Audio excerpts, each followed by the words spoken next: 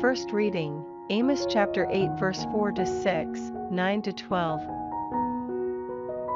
Listen to this, you who crush the needy and reduce the oppressed to nothing, you who say, When will new moon be over so that we can sell our corn, and Sabbath, so that we can market our wheat?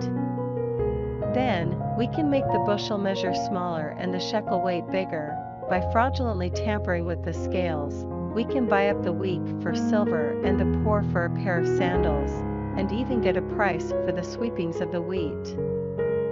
On that day, declares the Lord Yahweh, I shall make the sun go down at noon, and darken the earth in broad daylight. I shall turn your festivals into mourning, and all your singing into lamentation. I shall make you all wear sacking round your waists, and have all your heads shaved.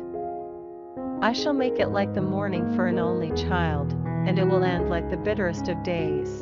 The days are coming, declares the Lord Yahweh, when I shall send a famine on the country, not hunger for food, not thirst for water, but famine for hearing Yahweh's word. People will stagger from sea to sea, will wander from the north to the east, searching for Yahweh's word, but will not find it. Responsorial Psalm, Psalms chapter 1 19 verse 2, 10, 20, 30, 40, 131. Blessed are those who observe his instructions, who seek him with all their hearts. With all my heart I seek you, do not let me stray from your commandments. My heart is pining away with longing at all times for your judgments. I have chosen the way of constancy, I have molded myself to your judgments.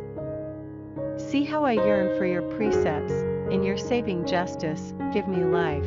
I open wide my mouth, panting eagerly for your commandments. Gospel, Matthew chapter 9 verse 9 to 13. As Jesus was walking on from there, he saw a man named Matthew sitting at the tax office, and he said to him, Follow me. And he got up and followed him. Now, while he was at table in the house, it happened that a number of tax collectors and sinners came to sit at the table with Jesus and his disciples. When the Pharisees saw this, they said to his disciples, Why does your master eat with tax collectors and sinners? When he heard this, he replied, It is not the healthy who need the doctor, but the sick. Go and learn the meaning of the words. Mercy is what pleases me, not sacrifice. And indeed, I came to call not the upright, but sinners.